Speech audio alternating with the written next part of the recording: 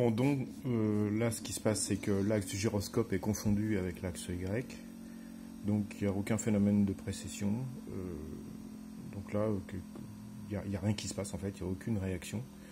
Que je mette en rotation euh, l'axe Y ou pas, le balancement est complètement neutre.